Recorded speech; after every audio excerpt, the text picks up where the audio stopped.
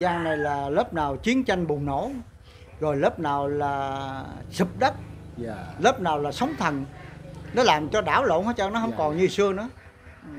Nó là mất hết trơn. Đúng rồi thì thầy ơi. ờ, đức thầy nói là đầu tiên là khắp thế giới cửa nhà tan nát. Dạ. Cùng xóm làng thưa thất quạnh hiu cái thế giới mà nó làm chừng nào banh thành. Dạ. Rồi mới tới cái xóm làng của mình.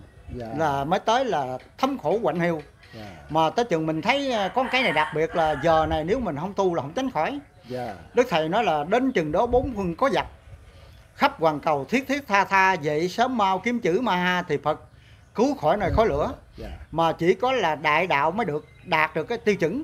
Dạ. Là chỉ là giữ giới rồi lo tu hành rồi lo làm lành lánh dữ rồi lo sửa bản thân thì giờ sau này mình mới khỏi cuộc đó. Đức thầy mới Dạ. che chở mình được. Dạ.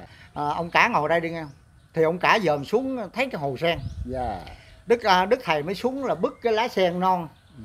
rồi là ừm, múc vô một ngụm nước rồi Dạ. bắt đầu bẻ một cái cái gương sen. Dạ. Bắt đầu lên đưa cho ông cả là ông vừa uống và vừa ăn đó là một cái gương sen với uống bụng nước đó. Ừ.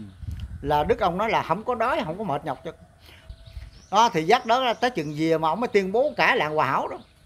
Là quý vị tin tôi bữa nay tôi gặp vàng thiệt rồi. Dập dạng thiệt anh là sau này à, thầy trở về mới định ngôi cho mình được. Dạ. Còn nếu mà thời gian này đó mình thấy là cái thế giới nó buông lung rồi. Rồi bây giờ mình thấy là à, mấy anh nói à, đời tới tôi nói chưa tới đâu. Chừng nào mà mấy anh thấy tầng nó nhóm á, qua tới đầu ải nhà bàn đó là mới tới đời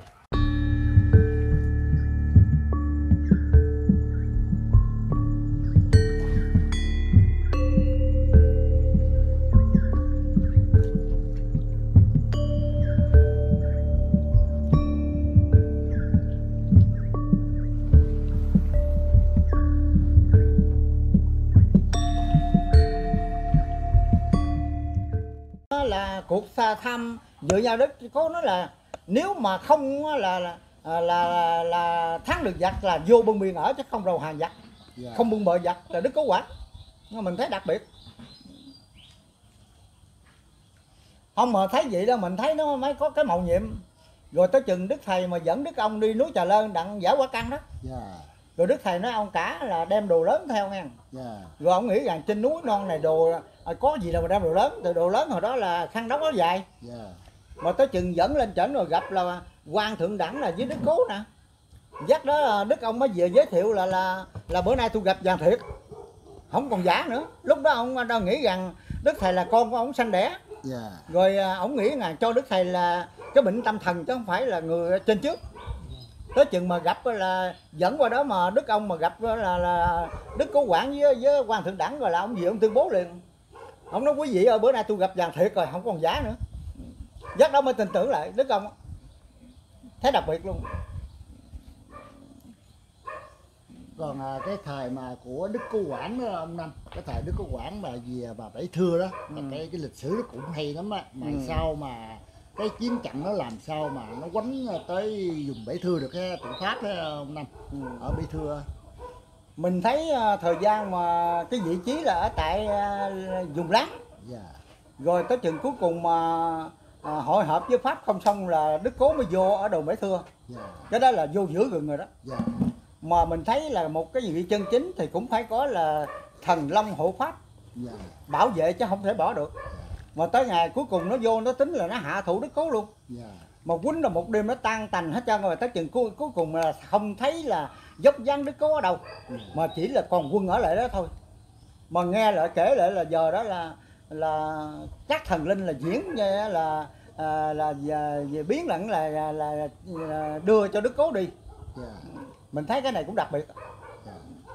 Cái cái chỗ đức cố đó cũng là một cái màu nhiệm mà.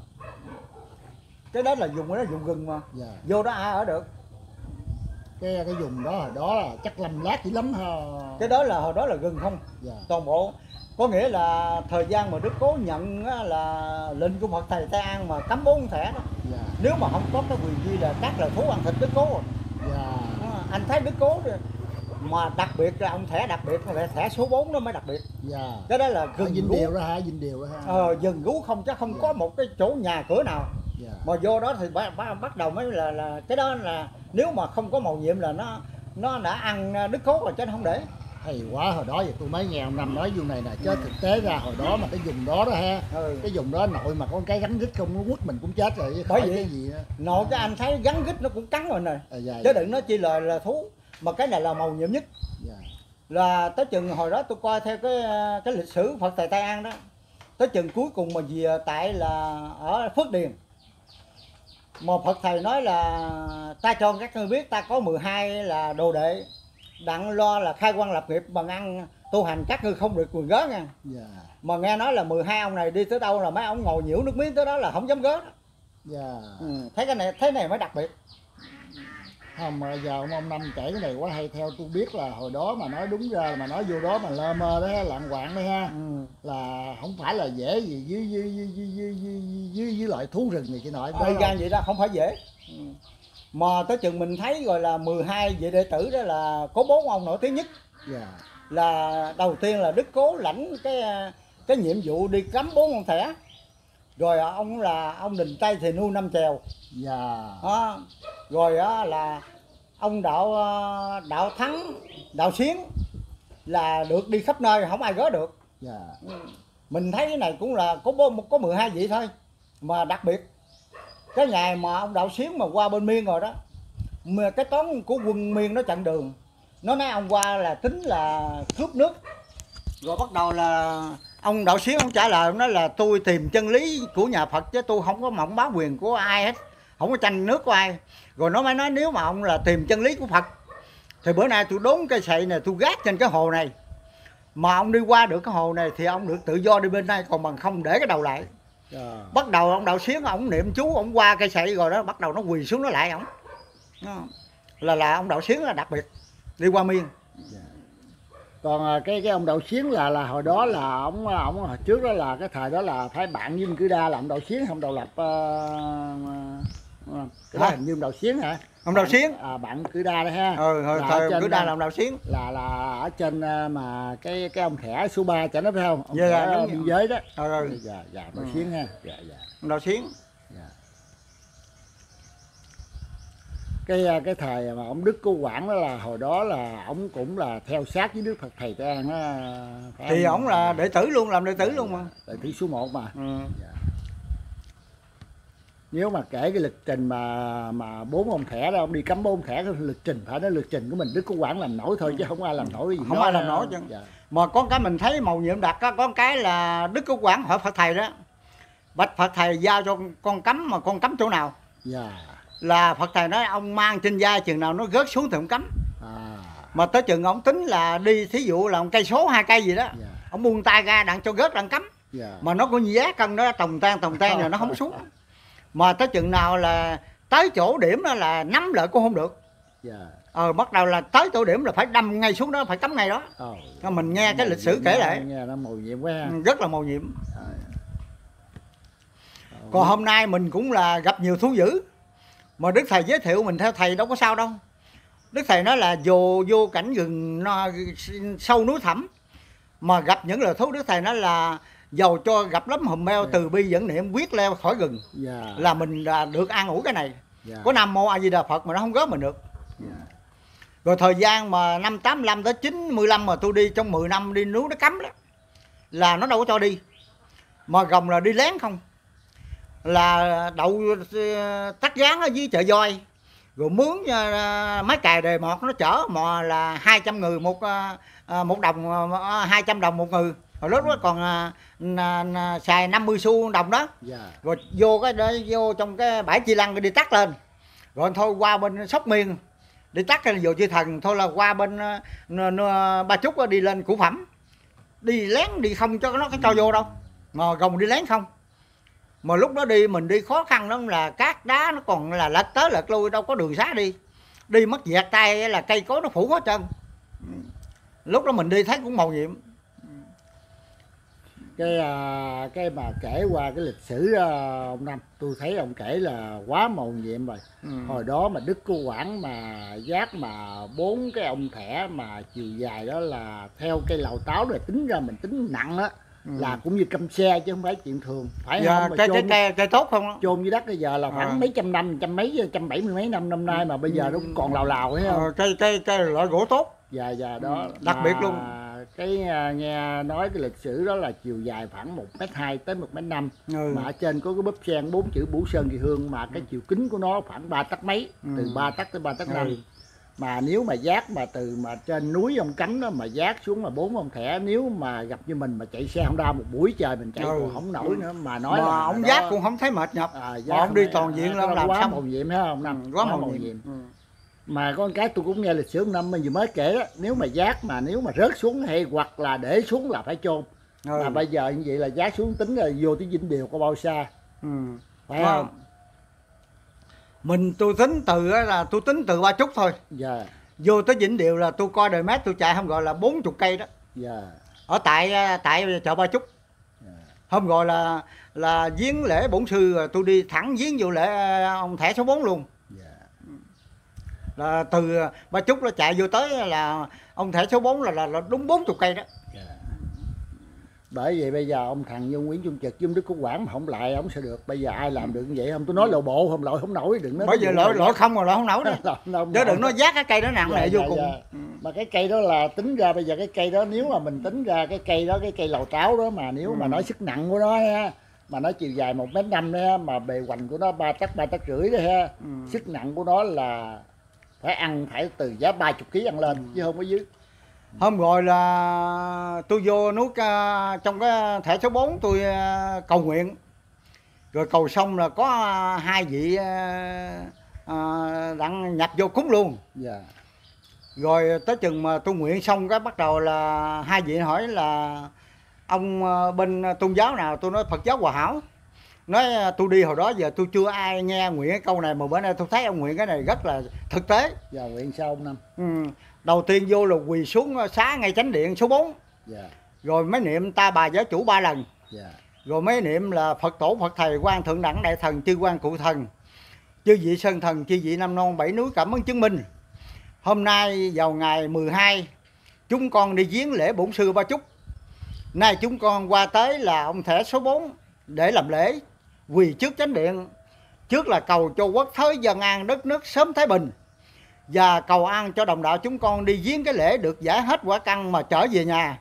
Đặng tu hành cho đến khi đắc thành đạo quả. Ừ. đó là nhiều đó mà cái bắt đầu là cái có chú đó nói à, thôi nhờ ông đọc lại tôi cho tôi thâu vô cái máy đặng tôi về tôi học. Dạ ừ. Ừ, tôi thấy ông nguyện cái bài này thiệt là rất là là, là màu nhiệm vô cùng dạ. Mà tôi thấy là tôi đi khắp nơi mà không có ai nguyện như ông chân á. Người ta nguyện gì lọt sọt hết cho người ta không có làm thẳng cái đường à, cái lời à, mà vô hành lễ. Dạ. Ừ. hồi đó mà cái sự tích mà cái lò rèn mà lúc mà ông ông ông ông, ông, ông cố mà dắt quân mình lên làm lò rèn ở trên đó, đó mà ông năm rồi đó là quân ở đông không thấy ông năm cái à, cái quân thì mình không có chính xác. Dạ không không hỏi không biết nhiêu quân. Ừ.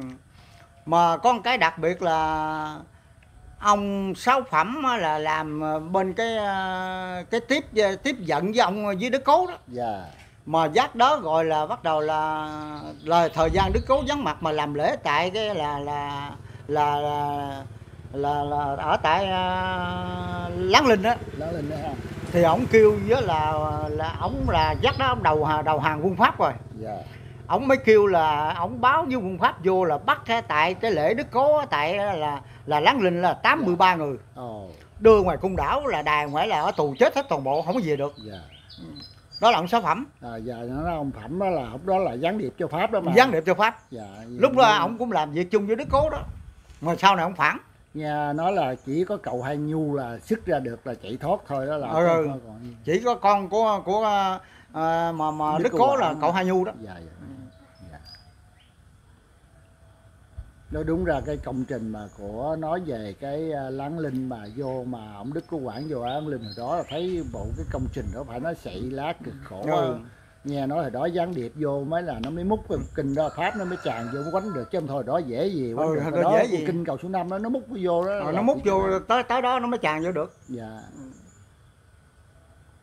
Bởi cái câu mà đức thầy có nói một câu nói đó ông năm thầy nói là rắn to tên gọi mãng xà trên rừng nó xuống mà nó tha dương trần đó mà lúc đó là ở đó thấy cực khổ ha. Dạ. rắn rít này kia nọ. Mà cái câu mà rắn to trên gọi quán xài như vậy là nói cái ý gì? Nói cái lý mà có nói gì? Mấy thằng pháp này rắn là rắn to là mấy thằng pháp nó hung dữ không đó không mấy không đó. cái cái rắn to này nó có thật sự chứ nó không phải là nói về bên cái ngũ hiền pháp. Dạ mà lúc đức thầy dẫn ông đức ông lên núi núi ờ, trà lơn đó. Nha. rồi một buổi đó đức đức ông mới ngồi trên đó là cái lưng con rắn à.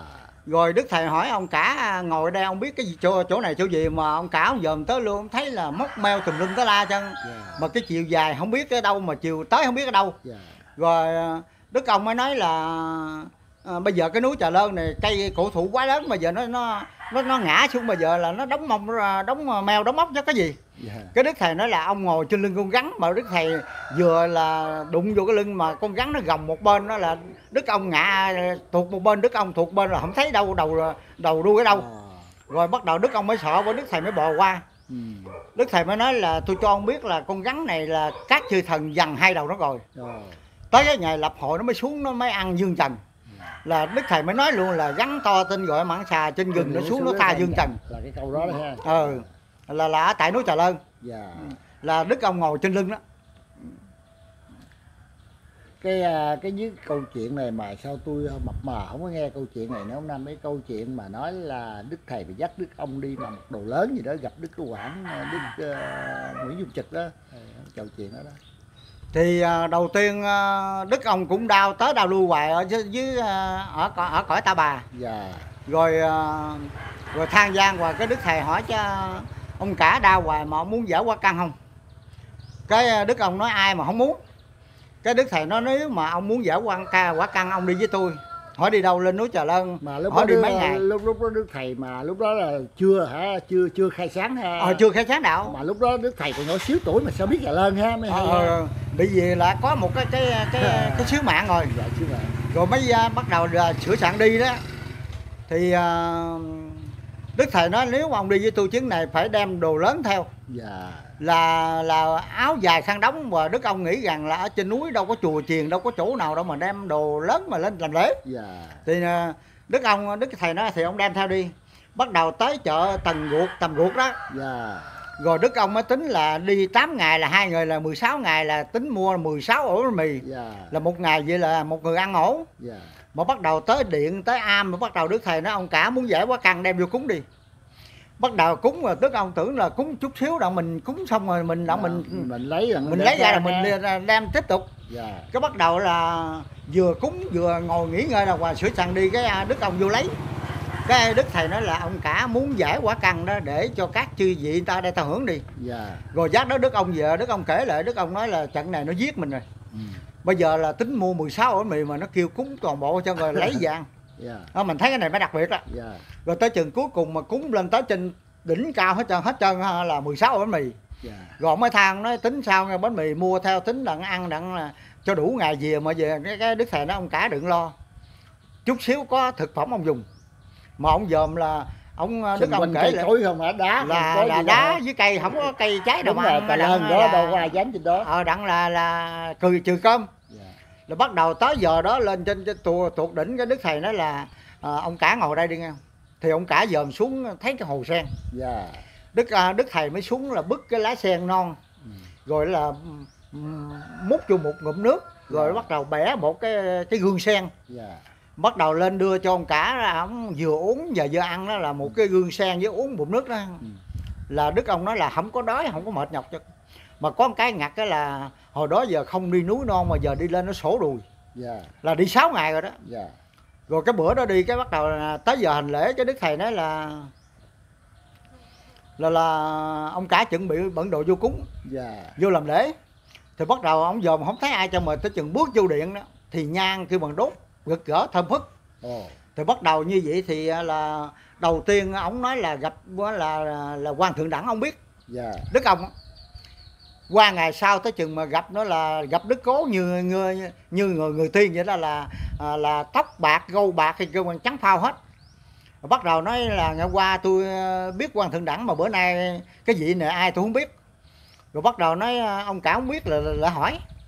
Thì bắt đầu đức ông lại hỏi rồi à, đức cố nó trả lời nói là thưa ông cả tôi là đức cứu quản trần văn thành.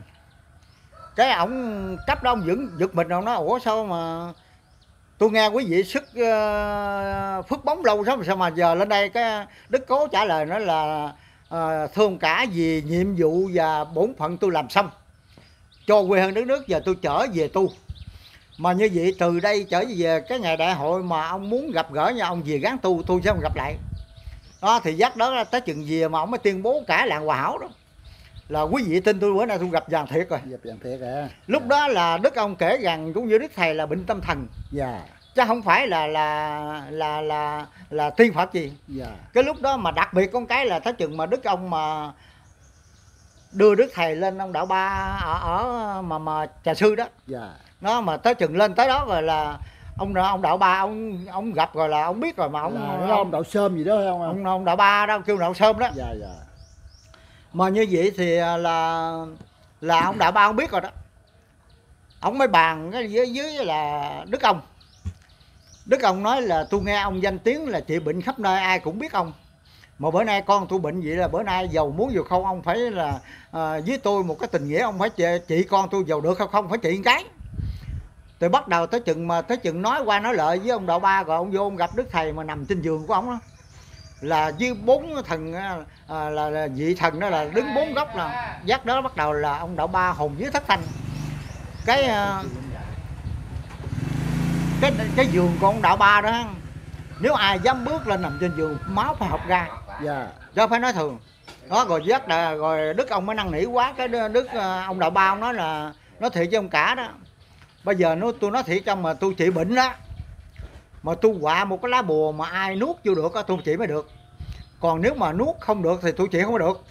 Thì bắt đầu là đức ông nói thôi ông thông cảm ông trị bệnh mà ông quạ lá bùa rồi. Ông đưa cho thầy thầy hả họng vô đó ha. Nó chạy ra tè tè tè mà tới chừng còn nữa ờ, cái lá cái đức thầy cho nó đứng tại đó. Dạ. Mà ở trên nóc nhà của ổng á kêu bằng là là kêu bằng là, sóc nóc văng nóc hết trơn luôn. Đó là tại tại tại là, là cái điện Quỳnh Long đó là ở núi Trà Sư đó. Dạ. Rồi ta, mình thấy tới chừng cuối cùng là, là ông đạo bao nói tôi nói thiệt với ông cả là tôi nói tôi chỉ không được. Mà ông còn biểu tôi làm là tôi phải làm. Mà, mà giờ đó ông thấy giỏi ban ngày đó. Dạ. Nó bắt đầu đem gì à mà mình thấy cái này mới màu nhiệm đây chứ. Cái vạt này là vạt tre thường chứ không phải là cây gỗ. Mà giờ anh lên coi nó láng như cái là là bộ ngựa gõ vậy đó. dạ. Ừ. nó nó nó, nó láng á, nó láng như bộ ngựa gõ. Ừ. Ờ, có có nghe nói mà cái cái vụ mà lên mà ông đậu sơm mà ông trị bệnh mà có bốn ông thằng gì đó có không ơi sao ờ, hả? nói là chị lên là có bốn ông thằng đứng bốn góc gì đó. Ờ đứng bốn góc là ông ông đạo ba rồi ông hồn dưới thất thanh. Dạ. Ông giờ ông thấy ông thất thanh lại liền mà ông nói chị không được mà đức ông năn nỉ hoài ông buộc phải chị. Đó mà chị không được. À, về đó là sao về đó là là, là không dám trị mà sao ông hình như nghe nói thọ giáo với thầy luôn hả sao làm đệ tử luôn đó ừ là thấy tới chừng mà biết thầy quá màu nhiệm. Bỏ nhờ mình tu theo thầy.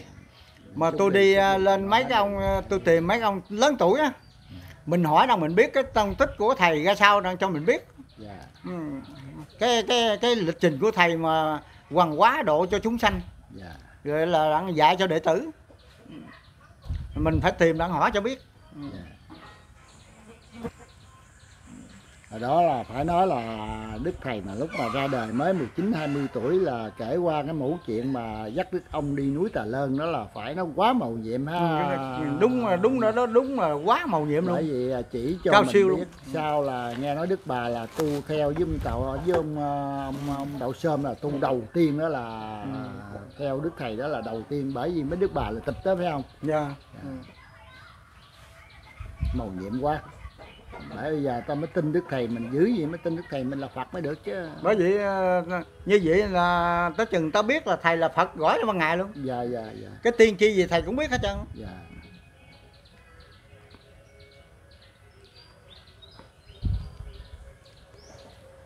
bởi vậy à, thầy à, tiên tri nhiều cái phải nói như bây giờ đó là thầy nói là trời giông gió sái mùa sái tiết đó ha ông năm dạ nắng đúng vậy mưa cũng khác xưa rồi mà hồi nãy mà ông kể qua dưới này mà cái lau dung dưới này đó Ừ. mà cách đây năm bảy năm mà trồng quýt trồng cam trồng nhãn gì đó mà bây giờ hình như là mằng cũng không được cũng khó mằng lắm không năm Ừ, là không được nữa. giá cả cũng không có ha Ừ, giá cả cũng không có luôn rồi bây giờ cái cái dòng gió mà sái mùa sái tiết hồi đó xuân hạ thu đông bây giờ ông thấy còn có bốn mùa như hồi xưa nữa không không ừ. Năm? thì à, cái thời gian mà đức thầy xuống dạy đạo đó nó còn bốn mùa dạ là là đầy đủ còn thời gian mà với thầy giới thiệu mà tới chừng sau này là trời giông gió sái mùi sái tiết nắng cùng mưa cũng khác xưa giờ xưa rồi. Bây giờ nó không còn nữa. Không còn như xưa mà nó đảo lộn. Cái máy thiên cơ nó là à, rút ngắn lại nó không còn dài để, để cho mình à, làm theo nữa. À, như vậy mình mới thấy được cái cái kết thúc cuộc đời. Yeah bây giờ chỉ còn nắng với mưa không chứ còn cái hồi xưa tiết lạnh không còn hồi xưa mà tiết lạnh gặp như mà ngồi giấc này ở đây là phải hơi hơi lửa không dạ đúng rồi. Lạnh lắm nha còn bây giờ cái tháng này đúng là đó là tháng tháng tháng lạnh nè rồi bây giờ giờ này mình mình mắc quạt gió. Dạ dạ dạ đúng nó rồi. nó nóng lại mình thấy nó rõ hồi xưa ngày. mà gặp tháng này mình ngồi đây dễ gì chịu nổi mặt nó lạnh à chứ hơi lửa à. Dạ. ở đây quá màu nhiệm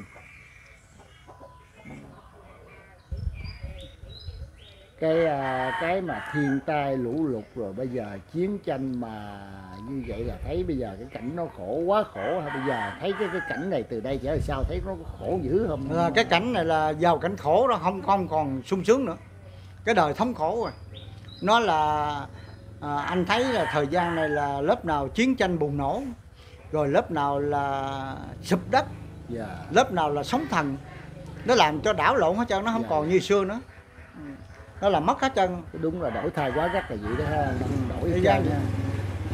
và bây giờ mình thấy cái thời này bây giờ thấy cái chiến tranh mà giữa mà đông âu mà nó có chiến tranh vậy là bây giờ mình thấy nó có xảy ra và bây giờ như vậy nó có thể lan tràn ra cả thế giới này không thì à, bây giờ những cái lời thầy nói thì mình khẳng định là đồ lại thôi. Dạ dạ đúng là đồ thì là à, đức thầy nói là đầu tiên là khắp thế giới cửa nhà tan nát. Dạ cùng xóm làng thưa thất quạnh hiu cái thế giới mà nó làm chừng nào banh thành. Dạ. Rồi mới tới cái xóm làng của mình. Dạ. Là mới tới là thấm khổ quạnh hiu dạ. Mà tới chừng mình thấy à, có cái này đặc biệt là giờ này nếu mình không tu là không tránh khỏi. Dạ. Đức thầy nói là đến chừng đó bốn phương có giặc. Khắp hoàn cầu thiết thiết tha tha dậy sớm mau kiếm chữ ma ha thì phật cứu khỏi nơi khói lửa. Dạ. Mà chỉ có là đại đạo mới được đạt được cái tiêu chuẩn. Dạ. Là chỉ là giữ giới rồi lo tu hành rồi lo làm lành lánh dữ rồi lo sửa bản thân thì giờ sau này mình mới khỏi cuộc đó đức thầy mới Dạ. che chở mình được. Dạ. Còn nếu mình tu mà cái giới lực mình không giữ à, căn bản mình không à, không không à, đứng lại thì bắt Dạ. đầu giờ đó nó cũng điêu linh. Dạ. Cho bản thân thì mình thấy à, cái cuộc này tôi thấy thời gian này là nó không không có xa rồi. Dạ. Nó lại là càng ngày càng kết thúc. Dạ. Bây giờ thấy là chiến tranh thế giới thì nó là cái người nó làm tàn bạo gian ác không chứ nó không có cái người lòng từ thiện thương xót. Dạ. À, chúng sanh ở, cõi ta bà. Bây giờ anh thấy à, thế giới bây giờ là nước này nó tìm vũ khí nó bá nước khác. Dạ. Đặng cho hai bên đặng đụng độ lẫn nhau đặng chiến tranh với nhau đặng tàn khốc lẫn nhau. Dạ đúng vậy rồi nó làm cho con người ở thế giới điêu linh thống khổ. Mà mình thấy tới chừng cuối cùng mà cái giặc mà nó lại là lan tràn đó là cả thế giới bầu trời. Dạ. Là giờ đó là mình không có trốn đâu khỏi chân. Dạ. Mà con cái là mình theo thầy thầy là quyết định với mình rồi. dạ là à, cái câu sau nó là tìm kiếm ma ha đó. Dạ ma ha là đại đạo lớn dạ là mới đạt được cái cái cái xác thân của mình dạ là mới giữ được cái cái thân tướng của mình. Là sau này à, thầy trở về mới định ngôi cho mình được. Dạ còn nếu mà thời gian này đó mình thấy là cái thế giới nó buông lung rồi. Rồi bây giờ mình thấy là à, mấy anh nói à, đời tới tôi nói chưa tới đâu chừng nào mà mấy anh thấy tầng nó nhóm á, qua tới đầu ải nhà bàn đó là mới tới đời. Tầng ban hầu hận tiêu di động đó ờ, tầng mà nó chưa khởi động là chưa tới. Dạ. Còn cái này chiến tranh nó chỉ là bùng xé lẫn nhau. Cái chỉ bên kia thôi ha. Ờ, nó chỉ là tranh giành chiếm đoạt với nhau cái quyền lợi của nó thôi. Dạ. Chừng nào mà tầng khởi mới tới. Dạ.